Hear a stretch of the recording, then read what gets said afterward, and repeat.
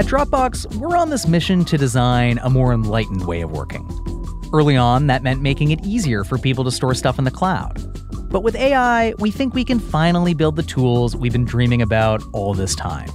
These systems have capabilities and like immense potential and advantages that are different from what we are able to do. And if we could be leaning into that space of difference, I think we could have a much more creative way of designing and, and using these systems that isn't just trying to replace what a person does.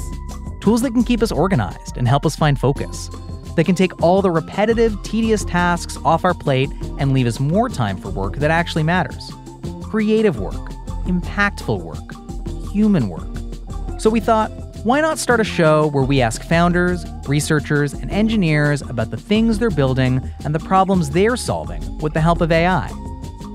We're calling it Working Smarter, and it's a podcast about how AI is changing the way we work and how we get stuff done. And not just in the future. We're talking about stuff that people are already doing and thinking about today. Because we want to help you work smarter too. We're at a place right now where the tech makes better performance so possible that we really don't have the same excuse that we previously had to do things in this kind of analog way.